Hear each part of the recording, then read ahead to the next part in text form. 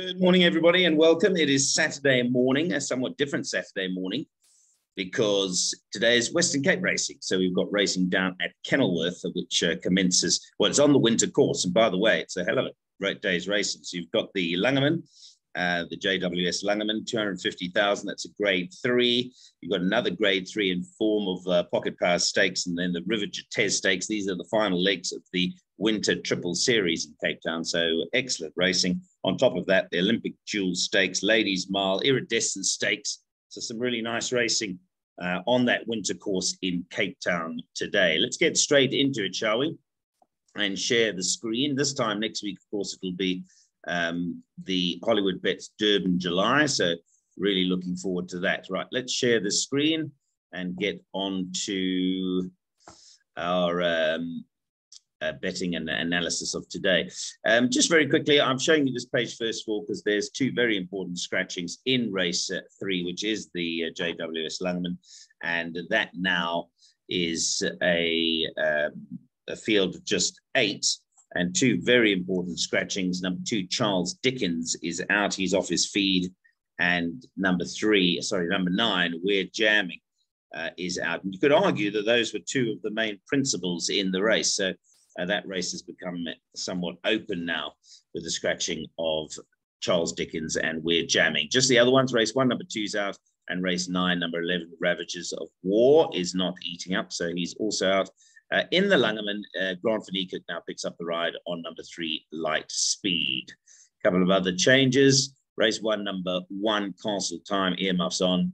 Race eight, number eight, Transact is a blinker strike, and so too is Lucy the Pink in race nine. That's number 10. Okay, let's get on to the betting and go through our uh, race by race analysis. I have uh, spent quite a bit of time chatting to the Ghost Rider last night, and uh, at a time where both of us didn't have load shedding because there's been load shedding left, right, and center. I got another double dose well, I actually got a triple dose today, but I've uh, started off with load shedding already on the Saturday morning. So let's get into that first race and um, uh, have a look at the betting. Uh, the uh, Ghost Rider selections in this race, I'll get to his thought process in a moment. He likes five and six in that order, and that would seem to suggest that um, the way they've priced up is about right. Uh, number five, Berenberg opened up 13 to 10, now shortened into 20 uh, 12 to 10. He's a son of Erupt out of a warm white night uh, mare and uh, bred by Normandy Stud. They do know how to breed a good horse. Richard Fourie rides after a uh, average kind of debut. He's improved to run third and third. So he certainly is probably the horse to beat here. But I'm with the Ghost Rider, and I think number six Bullet is going to uh, make a race of it. He's the son of Ferrari. The records, the stats for Ferrari for two-year-olds this season is pretty special. Uh, this is trained by Lucinda Woodruff. It's owned by the Lyles, and they had a winner. Uh, not Cooper, of course, uh, Lyles in Cape Town, Kirsty and Dad. And um, they had a winner. I think it's also Kirsty's brother that actually is involved as well here. So um, maybe lightning will strike twice. They um, had Exceeder win for them, which we fancied last week. And I think this also run a nice race. He might just need another run under the belt, but I think he'll be fairly competitive in this race. So uh, I'm along for the same ride that the Ghost Rider is here, and five and six are the two principals in the race. Number one, Castle Time uh, is having his fourth run since gelding. He hasn't got the worst form. He is a three-year-old, so he's older than Berenberg and uh, Bullet. He might be able to get into uh, the action as far as the trifecta is concerned. So that opening race, uh, five obviously uh, has to be respected, but I do think number six, Bullet, can improve and make a race of it. Let's move on to race two, shall we now, and uh, have a look at the second race, which is going to be uh, the first leg of the bipod. There are nine races today, so the PA will start with race three, but the bipod will start with race two. Uh, number one, Benika won uh, pretty well last time, and um, well, at the penultimate start, when against uh, and Mares older company last time, um, dropped back to that six furlongs, or back in that six furlong contest, uh, was not disgraced in carrying uh, 58 kilograms and finishing third. Uh, steps up to 1500 here. And on a pedigree point of view, being a daughter of Jackson, she'll probably relish that. So I'm not altogether surprised she's been uh, supported from six to one into five to one. She's not my first choice, but um, I wouldn't um, die arguing with you if you were going to throw it into the bipod. Uh, number two, Call Me Freeze, improved nicely to win third time um, at uh, the races. Uh, she's bred again by Oscar Folkeson team at the Normandy stud. Uh, she doesn't benefit from a, a, good draw, unfortunately. She's drawn nine. Three, Camille Claudel. Well, this horse has always had a big reputation as she finally delivered on shedding a maiden certificate last time. Aldo and Candice Bass Robinson in excellent form. Uh, they're formed together, and this horse second, second, first. So she hasn't missed the bipod placings, and she could very well hit the board again here. But I'm going to give number four, Ciao Bella, another chance. Um, she's a daughter of Gimme the Green Light. Bella Bella was a superstar. This uh, pedigree, this vast Fontaine pedigree, is uh, is star studded, and um, I'm prepared to ignore that last run uh, for whatever reason. Uh, she was slow into stride. She was never traveling as well as she did on debut, where she was super, super impressive. But um, she's drawn three, and um, the mother, Bella Bella, was a daughter of Dynasty. So she certainly, from a pedigree point of view, this 1500 should be within her compass. And for me, she is going to be uh, the horse to get a second chance. So number four, forward, Ciao Bella, to find her original form that she showed on debut. Uh, five Fun Zone is a daughter of Rafif out of an ideal world mare, so I don't think there's a problem with the 1500 there. S'manga Khumalo rides, uh, but no real support for her in the betting market. Lady Mystico is of interest. She's a master of my fate out of a dynasty mare. So uh, the step up to the extra 100 here, having finished third to Spywing last time, has got to be in her favor. And uh, she's drifted out to 12 to 1, but I certainly wouldn't be leaving her out of calculations, particularly as she's drawn nicely at two. That's number six, Lady Mystico, for the Crawford Ricks uh, combination. But to show how trappy it is, on we go with horses that have all got chances. Number seven, Miss Marguerite Richards Free rides from pole position one, and uh, she actually finished in front of um, Bella last time and just behind number one, Benica. So um, she can't be without hope. Number eight, Paculpa is the sister to Pomp and Power, and uh, as a result, um, must have a chance just on pedigree. But she hasn't got the best draw. She's drawn eight out of a field of nine, so she's got the uh, second worst draw. But um, she was running on behind Spywing when Spywing won last time. So wherever Spywing is, Paculpa will either be just behind her, on top of her, or in front of her. And um, I think you've got to factor that in. And obviously, therefore, number nine, Spywing, has to uh, have a mention. So I think this iridescent stakes is pretty darn competitive, to be honest. It's a question of who will improve the most, stepping up over the trip of 1500. But uh, to sum up again, I am going to give number four, Ciao Bella, another chance. That first victory was super impressive. And um, I'm just suggesting that that second run of her career will not be a good and accurate reflection of what she's capable of. So for me, number four, Ciao Bella from a good draw. Uh, the Ghost Rider likes number nine, Spywing, by the way. Um, he does uh, respect my filly, number four, Ciao Bella, but he was all over number nine, Spywing. He felt that that was an excellent victory last time, and um, I wouldn't put you off putting that in the bipod either. But beyond Ciao Bella and um, the uh, Spywing, which is the uh, Ghost Rider selection, uh, there isn't too much that doesn't have a chance in this race. So step warily here. I think it's one of the more competitive races on the program. Uh, for place accumulator punters, of course, they don't have to worry because that's not in the PA. The PA will start with this race, race three. And I do think from here onwards, it gets fairly uh, straightforward. Charles Dickens is scratched. So this betting I'm showing you now has, uh, is going to change uh, fundamentally, not only because Charles Dickens is scratched from the Langerman, but so too is number nine, We're Jamming. And they were the two fancies in the race. If you take number six, Port Louis, and number one, At My Command out of the loop, they would have been the first and second favourites. So it leaves us with a Langerman that really Brett Crawford has the key to. Um, um, so I say I did say we're jamming is scratched, right? I might have my brain's telling me that I might have said number eight to uh, the moon and back is scratched, but of course it's number nine, we're jamming. So apologies if I did say that. Um, so just to confirm, number two, Charles Dickens, number nine, we're jamming out. So that leaves us with uh, um, basically Brett Crawford against number eight, to the moon and back. And I start with to the moon and back because the Ghost Rider like this. This was uh, the improver for him in the race.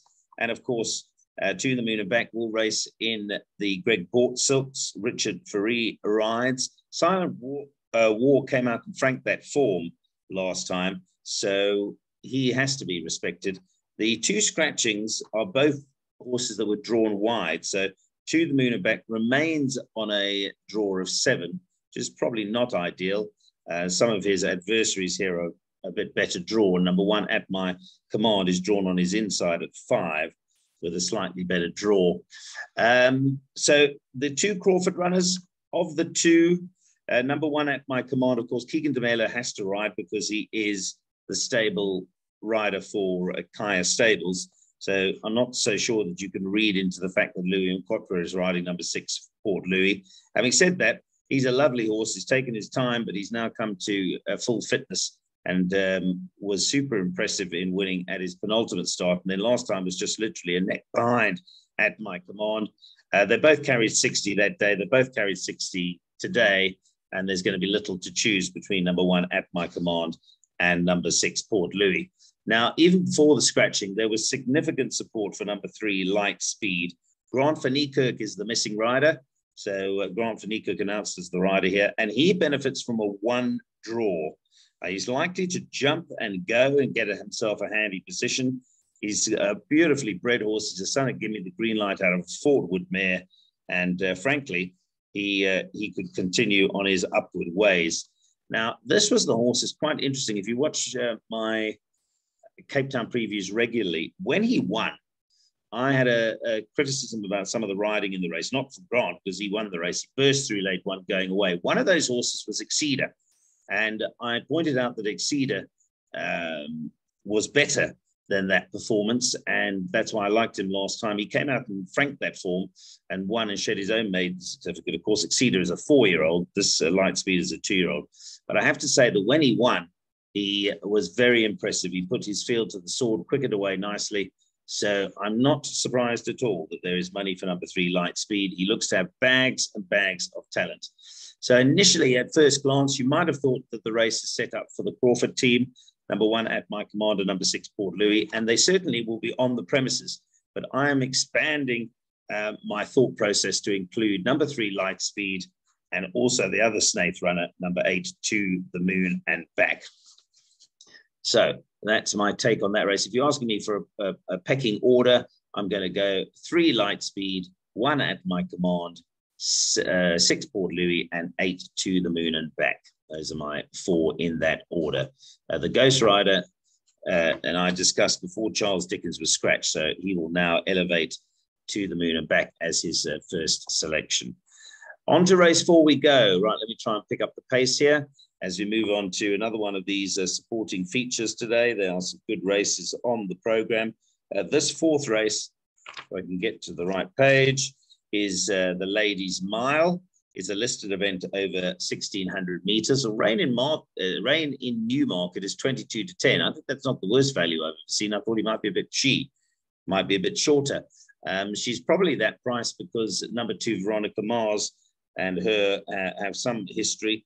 And um, she's a year older is Veronica Mars. She's got Aldo riding and she's drawn two. But I remain in the camp of number one, Rain in Newmarket here.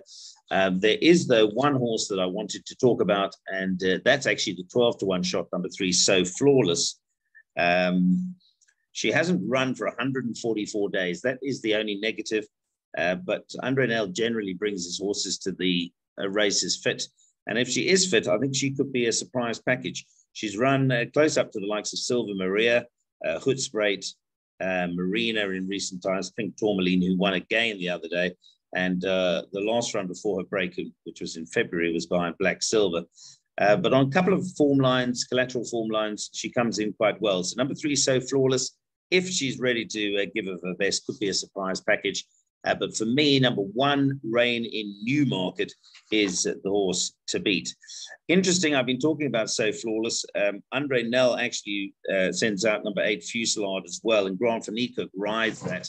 So you could perhaps argue that that's going to be uh, the horse to be with um, as far as the Nel yard are concerned. So I have to respect that. If I like number three, So Flawless, I have to respect number eight, Fusillade in that race. Okay, let's uh, pause quickly because I'm being invaded by my kids.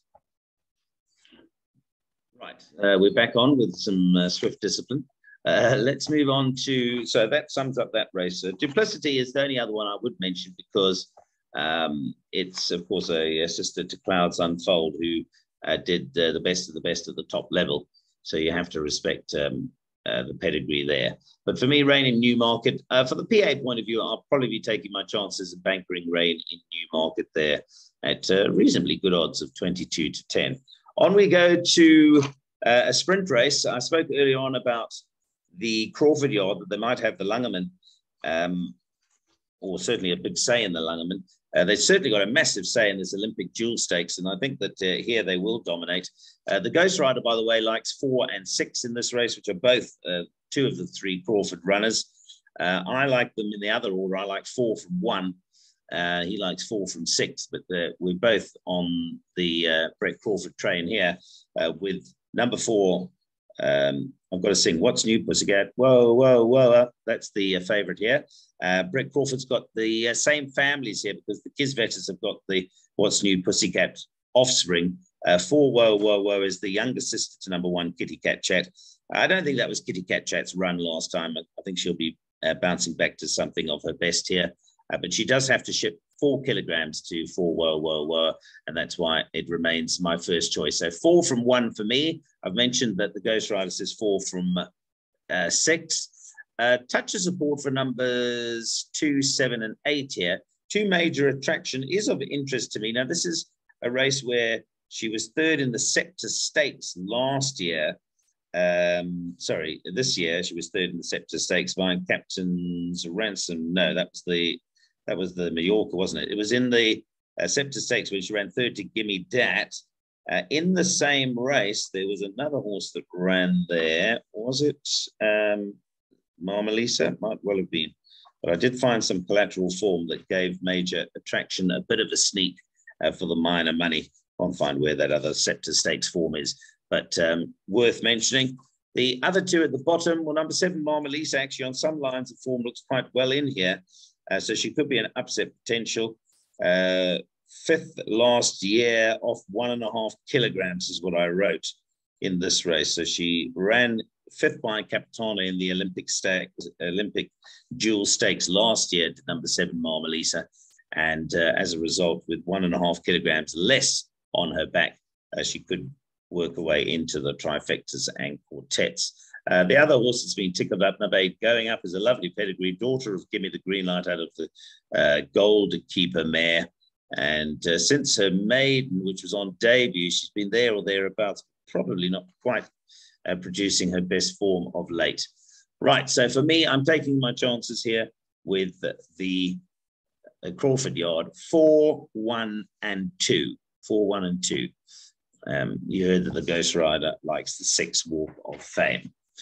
Let's move on to race six now. This is going to be uh, the first of our final legs of the Triple Crown Series, the Winter Series in Cape Town. We start with the fillies uh, running in the World Sports Betting River Jetez Stakes listed. Now we're stepping over to 2,400. As with all of the final legs of Triple Crowns, it's really a question before you even look at anything else is um, pedigrees and whether they will stay the trip because you don't win races if you don't stay. Now, this is a big step up to 2,400. So Maria Corral, who won the second leg, uh, goes now the extra 600 meters, as do all of them.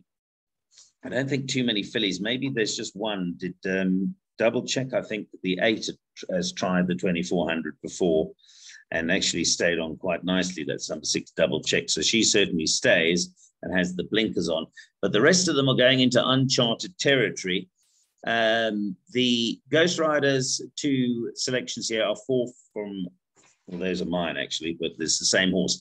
Number four, Fleeting, is the Ghost Riders' first choice um, and pretty much a strong one. He likes four to beat two, Young Love, who he reckons is the improver in the race. Uh, I would tend to agree with him, but I wouldn't be quite as bullish about number four, Fleeting. I think there are others in the race. Uh, five, Poitou Moi, uh, does interest me. She's a master of my fate. She's uh, steps up to this 2,400 meters, and uh, I think she'll stay and she'll be on the premises. So she's not without a chance. And then I did mention earlier on that number six, double check, has blinkers and Keegan DeMelo on and has been the trip and ran second to the future is Bright, who I think is a colt. So she ran against Colts, uh, Colts that day. The future is Bright, I think, runs in the next race, which is the last leg of the um, male, the Colts uh, Triple uh, Crown Winter Series. So that would be my roughie in the race, number six, double check, because I know that she does stay. So to sum up in this race, Four Fleeting is our first choice, but she's been easing in the betting market. There's been money for the Ghost Riders, Shruti, number two, Young Love, who is a twice over Grant for Niekerk ride. So you've got to respect that. So four, two, and six would probably be our combined combination there, although you have to respect number five, Quadric More, and number one, Maria Corral. Let's move on to race seven. This is the Colts equivalent, the last leg of the Cape Winter Series. And we know that Gem King has dominated that so far. I'm on the camp of Winchester Mansion today.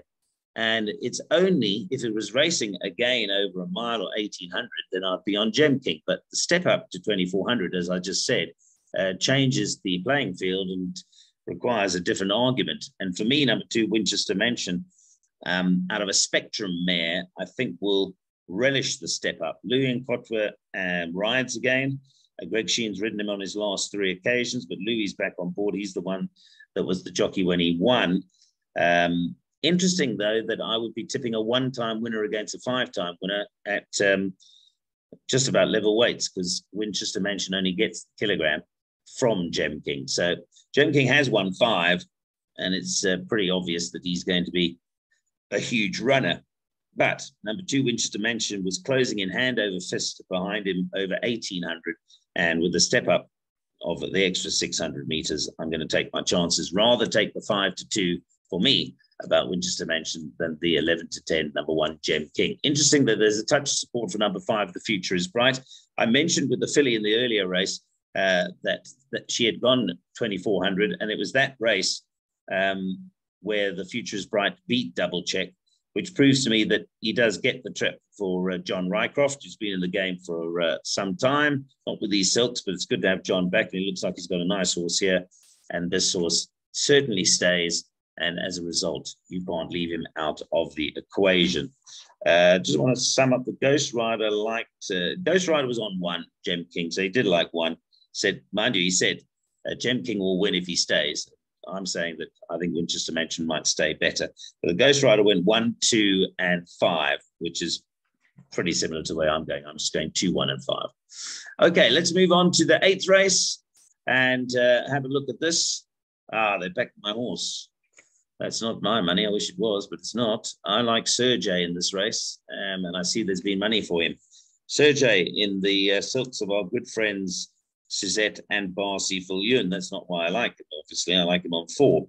Um, and also, I like him because he's uh, now, uh, well, if you have a look at his uh, course and distance trip, he's run three times over this Kenilworth six furlongs for two wins and a second.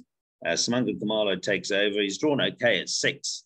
Ideally, you probably like him drawn a fraction excuse me, lower, but um, the straight not going to make that much of a difference. Uh, let me come back to the betting, though. Well, I better stay with the betting because Sergio has been back. So I really liked him. Uh, he opened up at six to one. I wish I had been on the six to one. He's now seven to two. That story and what I told you tells exactly why I like him. He's the son of Vercingetorix, Brett Crawford uh, yard in uh, sparkling form. And I thought, sure, six to one. I wish I'd seen that last night. Um, World's Your Oyster is the other one that's been backed. Now, he's been, I think, off his best form in recent times. Uh, he's much better than his last couple of runs. Uh, I like the booking of Greg Cheyne again. Greg's got a great relationship with him. Uh, he's had six rides on him. He's won 50% of those with three victories.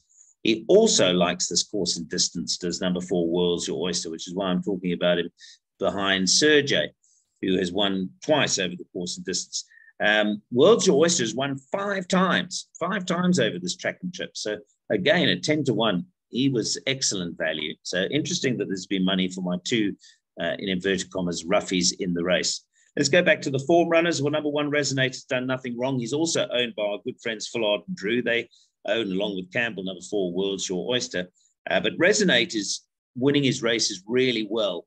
Um, he's a little bit like Tchaikovsky, who is winning and getting better all the time. He won the last race the last time he raced at Kenilworth, and he quickened up from virtually last to be super impressive under Aldo.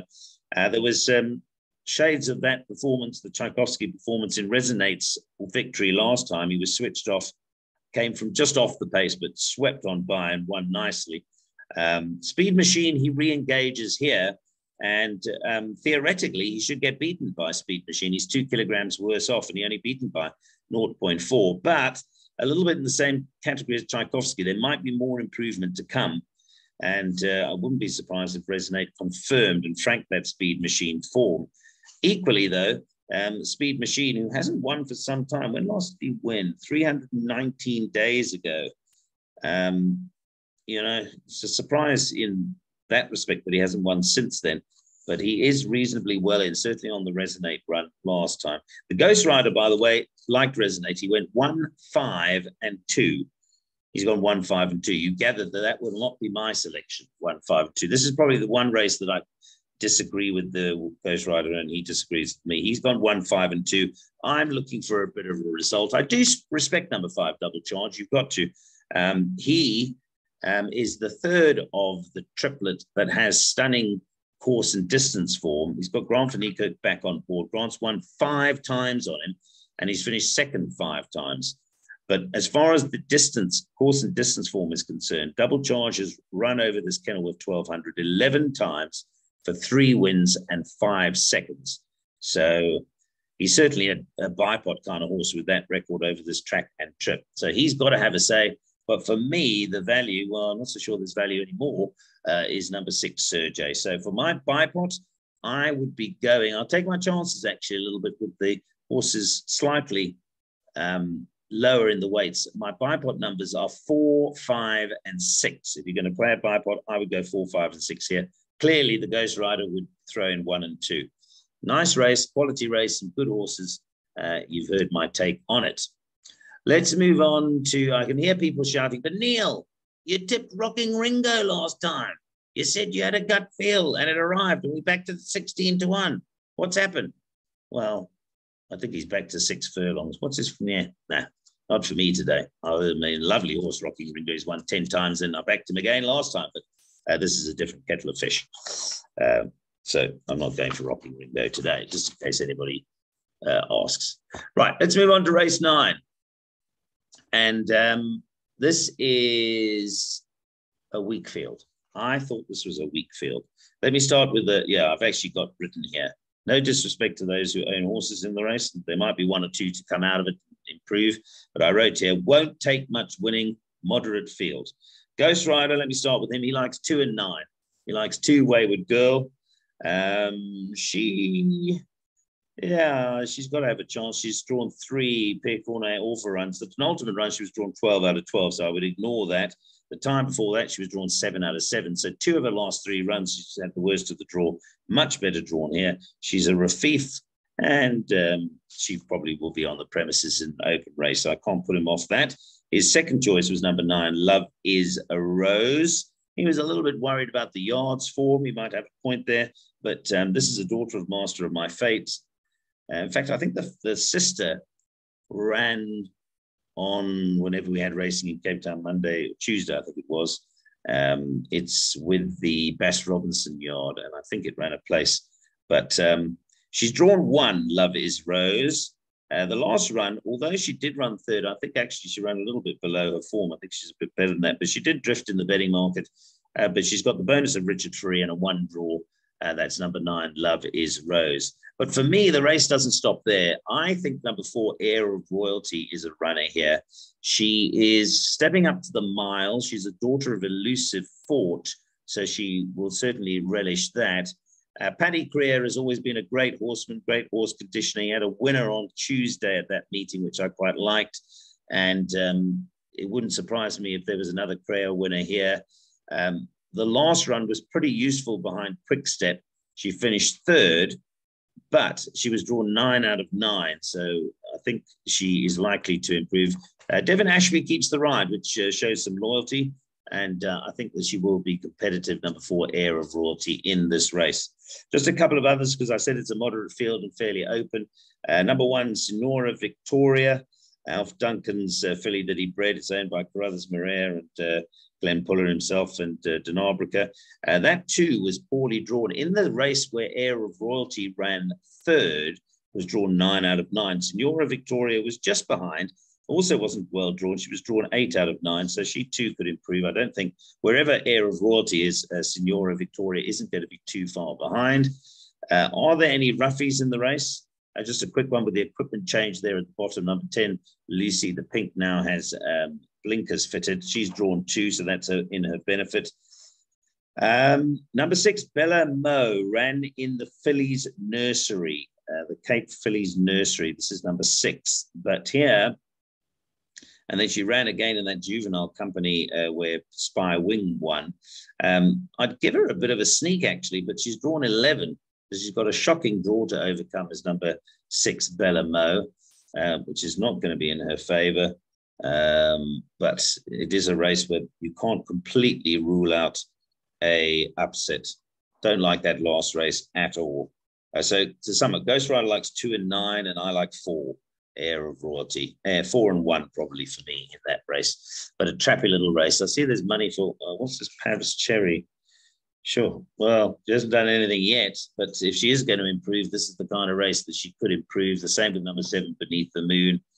Um, yeah, not a nice race, this one. If you are going to take exotics and pick sixes, uh, try and run to as many horses in this last race.